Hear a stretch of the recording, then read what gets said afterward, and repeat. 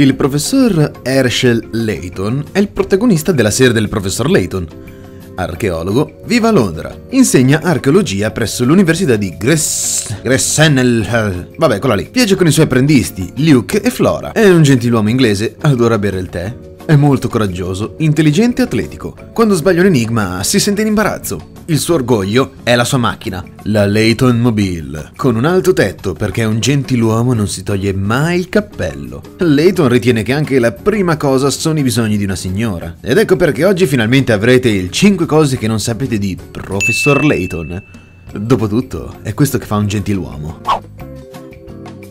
Numero 1. Il professor Layton è famoso per il suo cilindro, esageratamente lungo direi anche. Non se l'è mai tolto. O forse sì. Sapevate che eh, ne- il professor Layton, il futuro perduto, dopo la morte di Claire, se lo tolse per segno di rispetto? Scena molto toccante anche.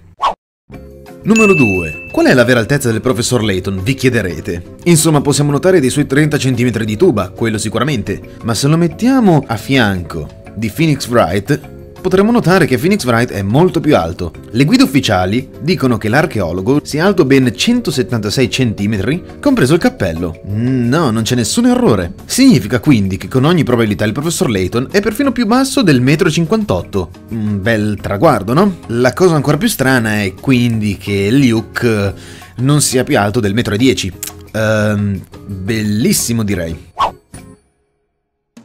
Numero 3. In Professor Layton e la maschera di miracoli è presente un negozio con tre ocarine. La prima si dice che invochi sentimenti di rabbia e potere, la seconda che spazi via preoccupazione e l'ultima che apra le menti. Più altre cose che ho tralasciato giusto per tagliare un pochettino la frase. Questo è un chiaro easter egg e questo easter egg cita inoltre la Triforza di The Legend of Zelda.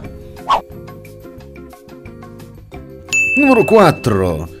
Nel Professor Layton e il futuro perduto vi è un puzzle che si chiama Lo scrigno di Pandora riaperto. O almeno è così che l'ho tradotto io. Esso sarà l'unico puzzle in cui non verranno dati né aiuti, né indizi, né ricompense. Giusto per completare un pochettino le cose, no? Una volta che l'avremo risolto ci verrà detto che, bravi, sicuramente avete completato Professor e lo scrigno di Pandora.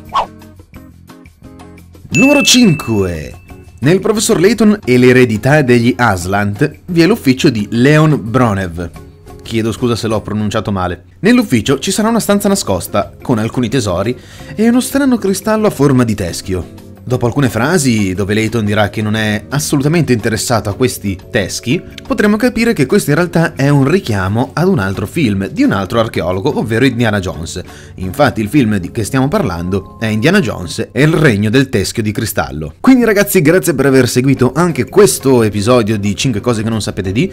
Vi lascio nel video, cliccate quella i che praticamente vi apre un sondaggio dove potrete votare direttamente senza andare su altri siti. Mi raccomando, ditemi il prossimo che volete vedere, vi lascio una buona lista, così almeno siete a posto per un po'. Quindi ragazzi, noi ci rivediamo al prossimo episodio di 5 cose che non sapete di. Un saluto a Teo e ciao ciao. Bellissimi.